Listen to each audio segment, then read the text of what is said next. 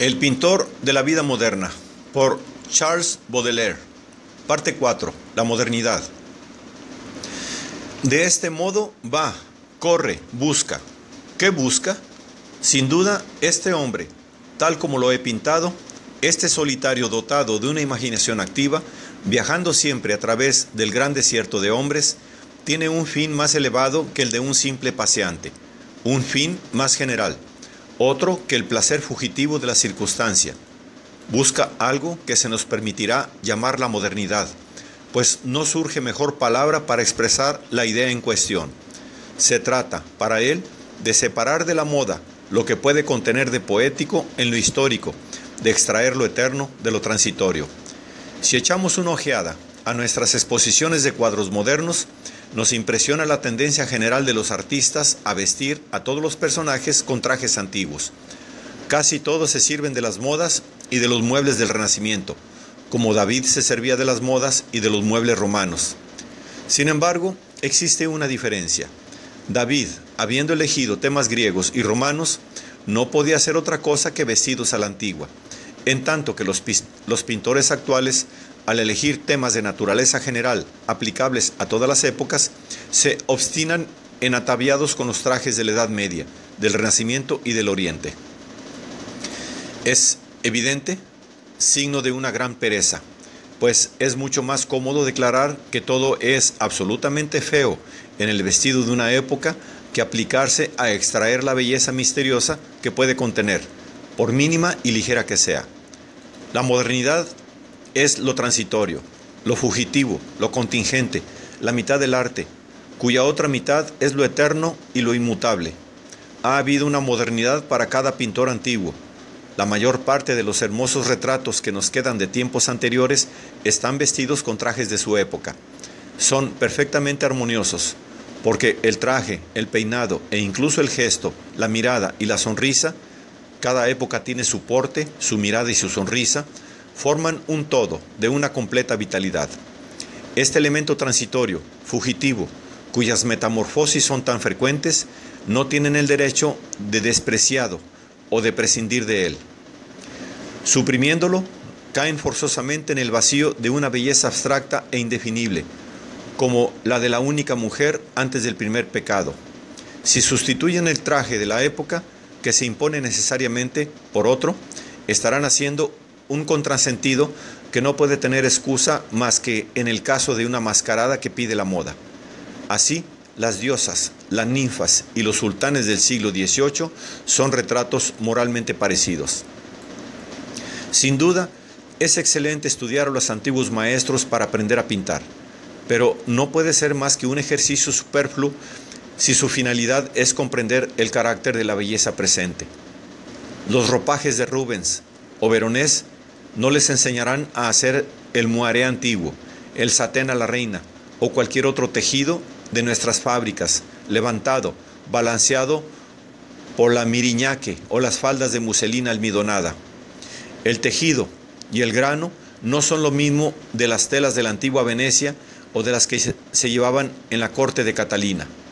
Añadamos también que el corte de la falda y del corsé es absolutamente diferente, que los pliegues están dispuestos con un nuevo sistema y por último, que el gesto y el porte de la mujer actual dan a su vestido una vida y una fisonomía que no son los de la mujer antigua.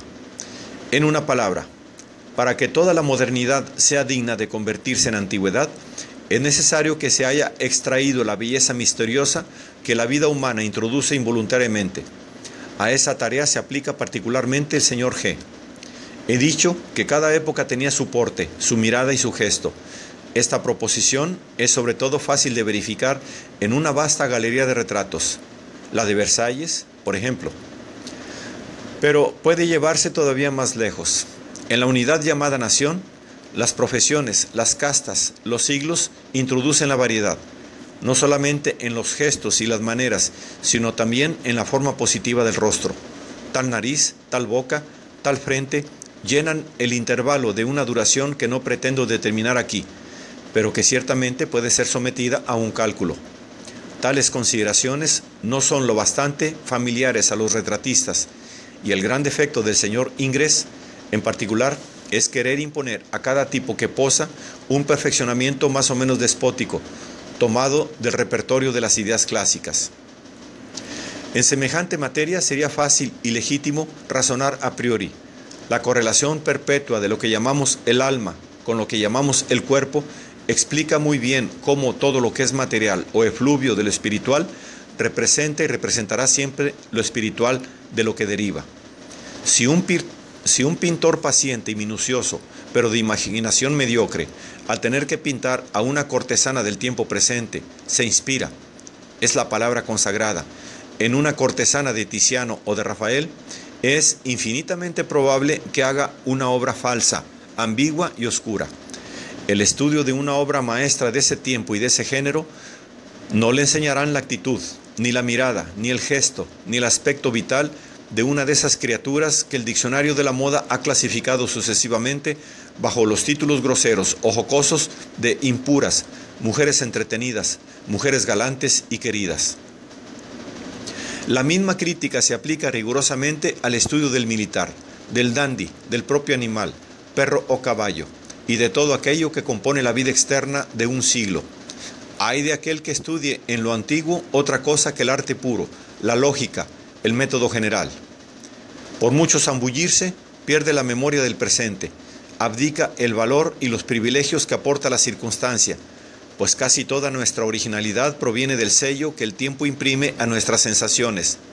El lector comprende por anticipado que yo podría verificar fácilmente mis acertos sobre otros numerosos objetos distintos a la mujer. ¿Qué diría, por ejemplo, de un pintor de marinas? Llevo la hipocresía al extremo, que, teniendo que reproducir la belleza sobria y elegante del navío moderno, fatigar a sus ojos estudiando las formas recargadas, contorneadas, la popa monumental del navío antiguo y el velamen complicado del siglo XVI? ¿Y qué pensarían de un artista al que hubieran encargado hacer el retrato de un pura sangre, célebre en las solemnidades del hipódromo, si limitara su observación a los museos, si se contentara con contemplar el caballo en las galerías del pasado, en Van Dyck, Bourguignon o Van der Meulen? El señor G, dirigido por la naturaleza, tiranizado por la circunstancia, ha seguido una vía completamente diferente. Ha empezado por contemplar la vida y solo más tarde se las ha ingeniado para aprender los medios de expresar la vida. El resultado ha sido una originalidad conmovedora, en la que lo que puede quedar de bárbaro y de ingenio aparece como una nueva prueba de obediencia a la impresión, como un halago a la verdad. Para la mayoría de nosotros, sobre todo para las personas de negocios, a cuyos ojos la naturaleza no existe, de no ser en sus relaciones de utilidad con sus negocios, lo fantástico real de la vida está singularmente mitigado. El señor G lo absorbe continuamente, tiene la memoria y los ojos llenos de ello.